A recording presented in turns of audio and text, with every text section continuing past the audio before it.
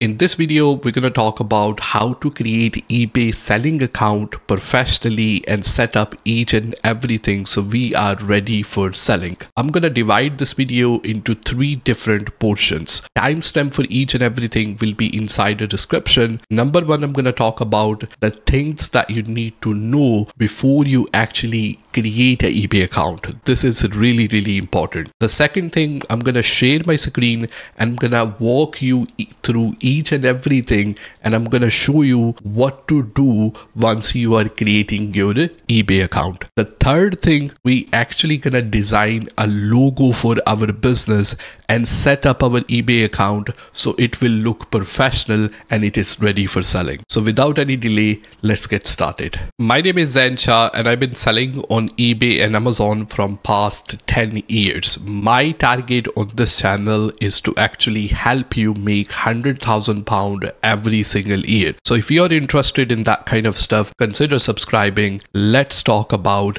the things that you need to know before you start selling on eBay. So before we create the new eBay account, the first thing to keep in mind that if you already have an eBay account and maybe you are only using it to buy the items from eBay, you can actually use the same account to sell the item on eBay as well. There are the changes that you will have to make, which I will show you further down in the video once I will talk about how to set up the account as well. The reason we're going to use the same account because it is very likely that you're going to have some kind of feedback from other sellers. It doesn't matter you have a feedback as a buyer or you have a feedback as a seller because on the eBay ID, whenever the customer will see your eBay ID, there will be the number in front of it and that will show how much feedback you have. So the bigger the number is, the bigger the social proof you have. So the buyer will feel comfortable buying from you. So that's the reason I encourage people people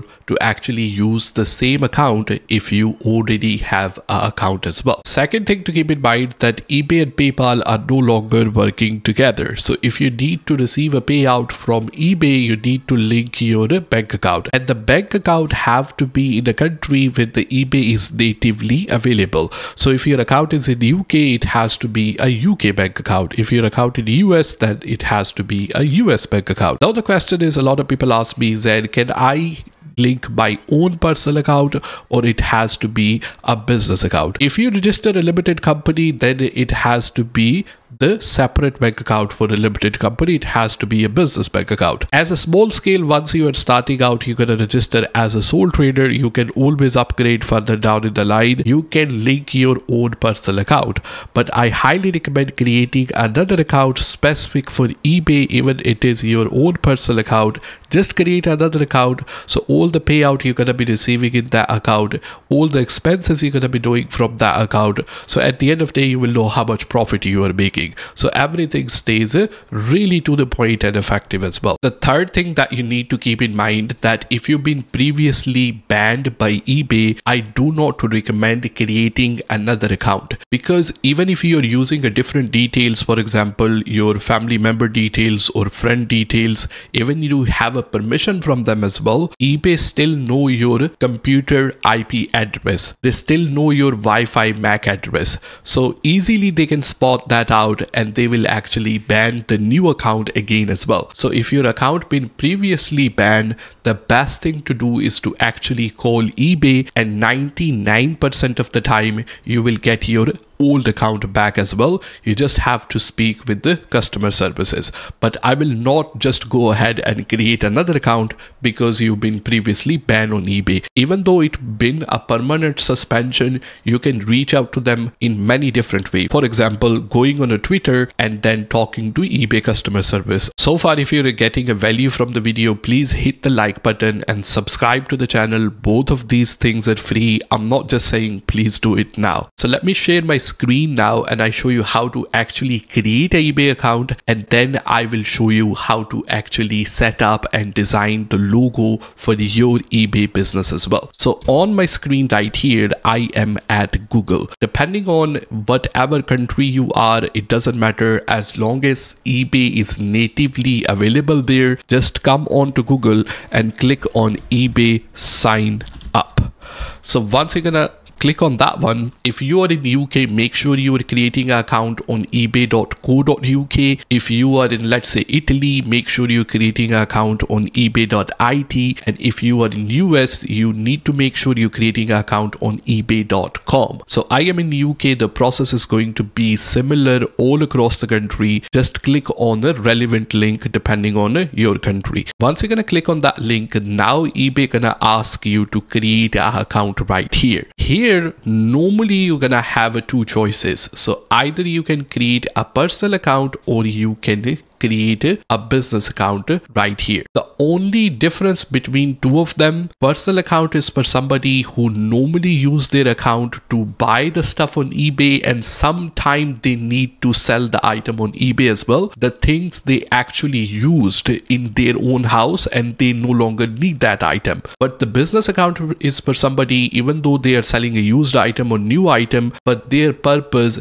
is as a business to sell the item on eBay on a regular regular basis and make the profit from it as well. So as a seller, you always, always have to create a, a business account because the personal account according to eBay terms and condition is not the account that you can use on a regular basis. So your account can get banned as well. The other thing that you need to keep in mind that if you create a personal account, the thing with the personal account that your selling limit is going to be very low because eBay don't expect you to sell the item on a regular basis. So selling limit mean once we create the account on eBay, eBay gonna actually limit you how many items you can sell per month. So by just having a business account, that limit will be higher, which is very, very important right here in this case scenario as well. So if we go to our business account, the first option that we have is a business name. A lot of people get confused by it. They think about business name that they need to register a limited company and that name you have to put right here. That is also right if you go down the route if you register a limited company. But even though you are not registering a limited company, you can pick the business name for yourself.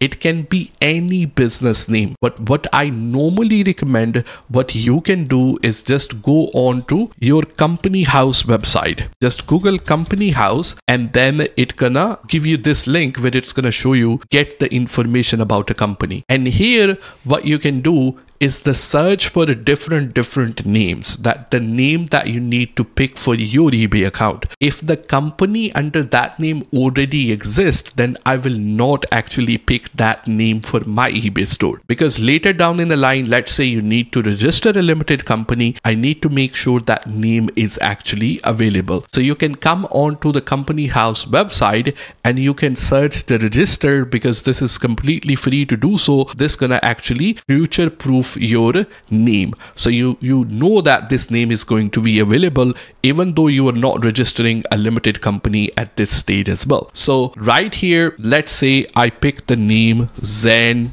shah ebay I'm just giving you one example. It doesn't have to be that one, but just you need to make sure it is available. And then the business email, here you're gonna need to put the business email that you're gonna use. It can be Gmail, it can be Yahoo, whatever, but I recommend just the business email that you're gonna be using for eBay keep that email separate as well because you know this is the one you are only using for eBay and the email are not mixing up. So creating another email account is just a simple process. So just create another email account and use that as a, a, business email right here. You're just gonna need to pick up the password right here, whatever the password that you're gonna choose, and then you're gonna select your business location. So for me is a United Kingdom, and here this is very important. It says that I only want to buy on eBay, I don't want to sell. So if you check this box, then this is not going to be a selling account. It is just going to be a buying account. Leave that box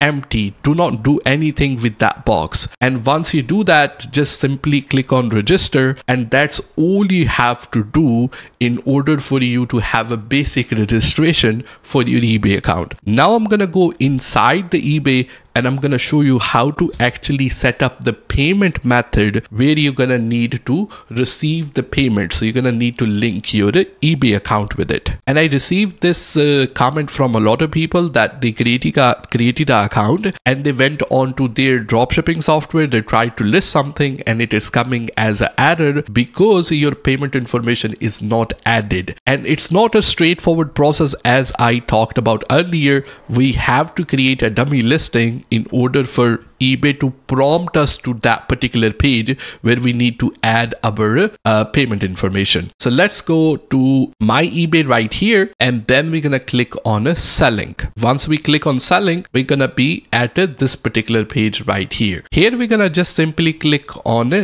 list an item. We are not listing anything. We are just creating a dummy listing so we can actually add the payment information. Once you're gonna click on list an item, you're gonna be on to this page right here. Here you can type anything, just let's say type iPhone cable. If you just type iPhone cable, anything, let's say iPhone cable charger, I will just uh, pick up that one and then I will just simply search and then I can select any item. We are not actually selling that item. We are just creating a dummy listing. So new and then continue to listing right here. Once I will come on to this page right here, the picture is already added. The title is already there. I'm just going to need to fill up some information so it actually allow me to make this listing right here as well. So description we can type anything in the description doesn't matter. The selling price let's say 919 499 quantity one. Uh postage we need to select something for the postage. Domestic service right here let's say we do this one. And then um,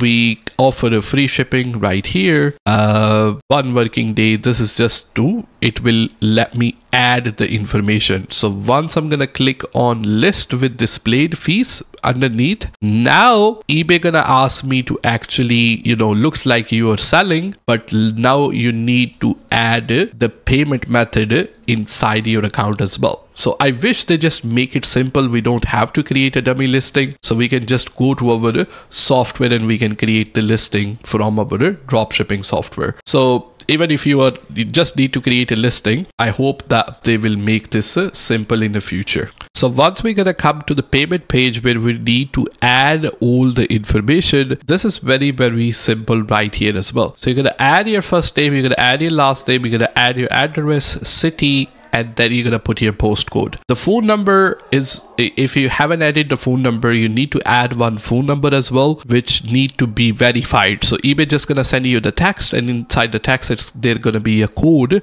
which you need to verify. So just fill up the detail, and then it's gonna take us to the next page where we need to add our banking information. So once we're gonna need to add the payment information right here, then eBay gonna give us an option onto the page that you can actually log in into your eBay bank account. So once we need to add our banking information, you can actually log into your business or personal bank account and then eBay will automatically pull up the detail. You do not need to worry about it. This is actually a very secure process. So you can log into your eBay bank account. This will get instantly verified. A lot of time we might have a bank account which is not listed right here. So let's say it's a Tide Bank or it is a Star Starling Bank or Monzo or something like that, then it is not listed right here. So once you're gonna click on login to your eBay bank account, then you can actually choose the one right here. So if your bank is not listed, then you're just simply gonna click on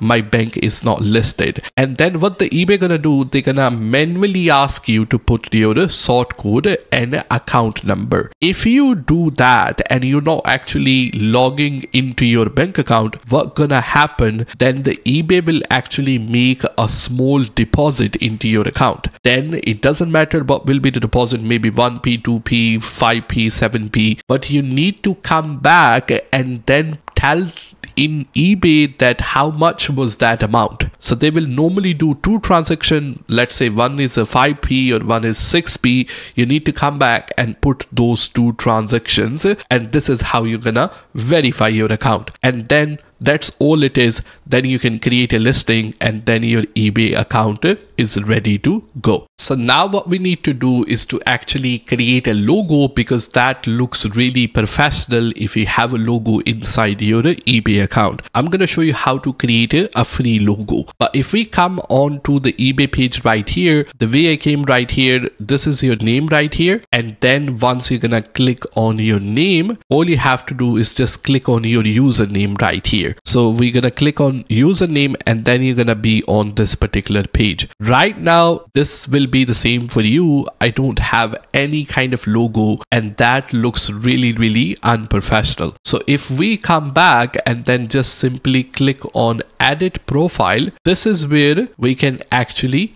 upload our logo but obviously i'm going to show you how to actually create a logo. So edit profile. Here you just need to tell something about yourself. For example you know just a little bit information what you're passionate about. You know your store we are based in uk or we are selling top quality item. That's what you need to type something. Do not leave this empty that is uh, very very important. And in order for us to create a uh, upload a logo this is a pencil sign right here on the top of your uh, this uh, kind of dummy picture right here. So once we do that then the ebay gonna ask us to actually create a logo. Now in order for us to create a logo just simply come back to Google right here. There is a free website called Canva. You don't need to pay anything. It's completely free to get started with the Canva. And I'm going to leave the link for Canva inside the description in order for you to actually create a free logo. But I'm going to show you how to do that. So once we come inside the Canva on the top right hand corner right here, there is going to be an option called create a design right here. And this is going to be completely free. So if we click on create a design it's gonna ask us what kind of design you want to create. So we're gonna click on a logo right here. Once you're gonna click on that one canva will actually give you a lot of a lot of different templates as well. And they are really really easy to use them. You can select a different category. So let's say we put uh, online shop. We will do that. And then a lot of free templates gonna come up as well. So let's say i like uh, this particular design. Some of the design are going to be paid. So if that have a crown sign on it right like this then it means it is a, a paid design. So i'm gonna pick up just simply a free design. Let's say i like this particular design as well and now i can make changes. So i will do instead of online shop my shop name was zansha i'm just gonna type zansha and that's it. My logo is ready. I can choose the motto for me if i need to make some changes. Once you're done with it just simply come back right here and just click on share. So if you click on share it's gonna give you the option to actually download this for free inside your computer. And then you can just simply come on to ebay just click on a pencil icon and you can upload that file and your account is actually ready to go. So before we finish this is a step-by-step -step series where i'm gonna explain each and everything as a step-by-step -step guide. So the next part will be linked right here which i'm gonna show you after you have created an account. What will be the next step? Do check the links inside the description. Like and subscribe. Take care